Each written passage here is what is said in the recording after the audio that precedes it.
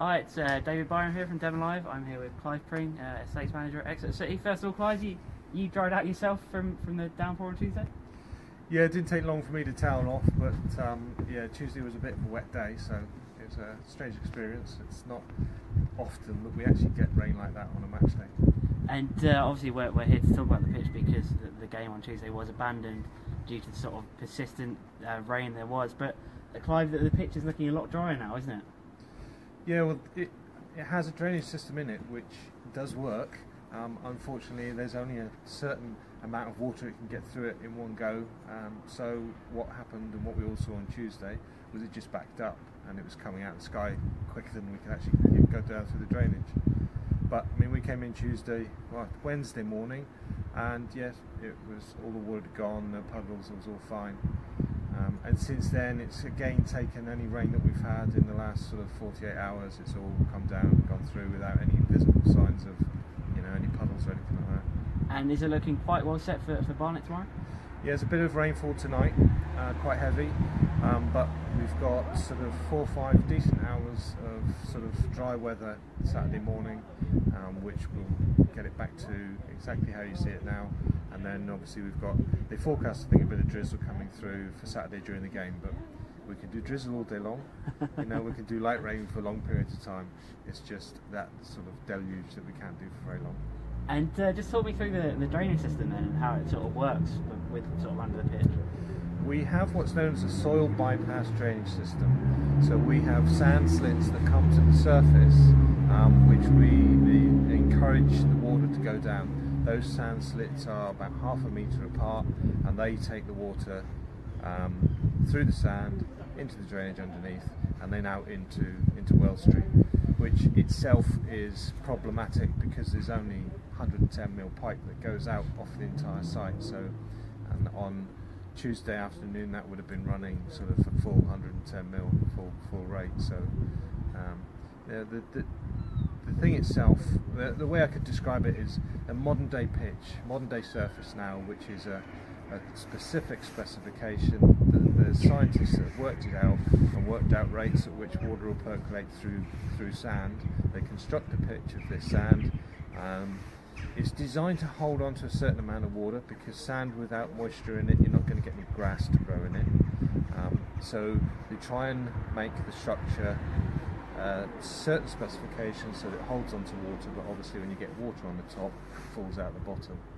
Now that type of pitch is will drain 100% of the surface is basically drainage. We've sort of done that on the lines where the sand slits are.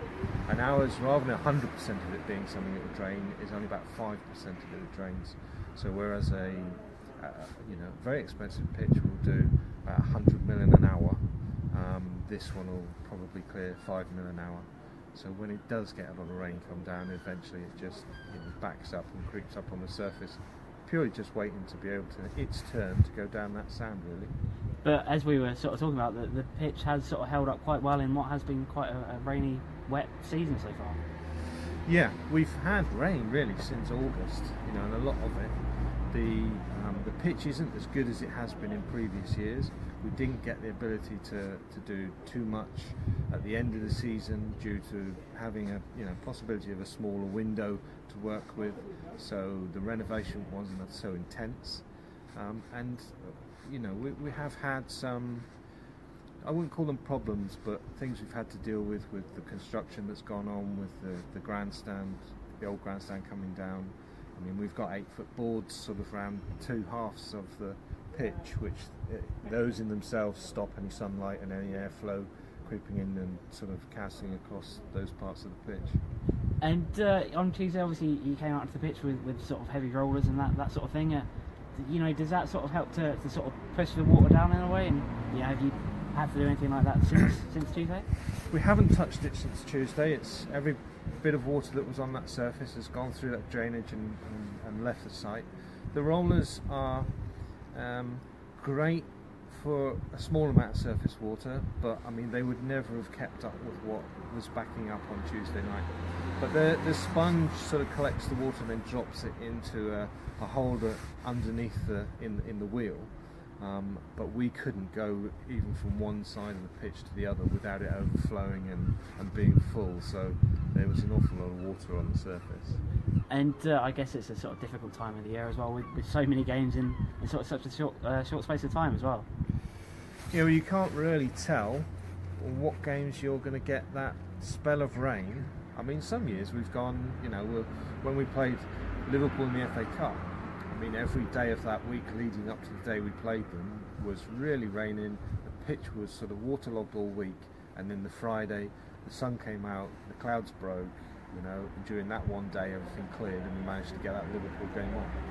Obviously, the more games you do when your soil is wetter than normal, the more you slowly destroy everything. The grass sort of gets fed up and just thinks, oh, I'm not going to live here anymore. I'm just going to die and give up. So that's really why they just sort of thin out.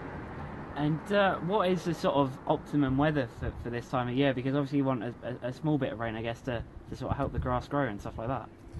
I'd like it if it was about sort of four or five degrees and it wasn't raining, so we didn't have to deal with frost and we didn't have to deal with water.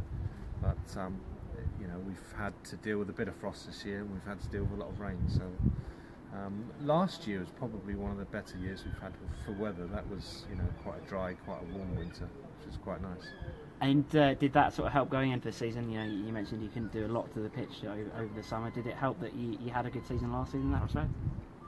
Um, a little bit. Last season had its issues. When we came into spring, it took a long time to get going because it's although it was sort of a warm winter, that winter continued for some time.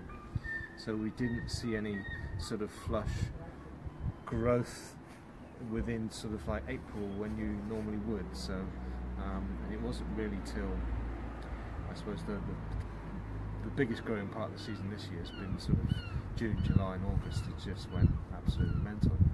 Um, but without us being able to do a renovation and being able to see the pitch properly, we've also ended up with a lot of grass species that weren't really what was required for a football pitch. They weren't strong enough, the root didn't go deep enough. That's the type of um, plant that gives up easy when it gets wet, when you start playing on it.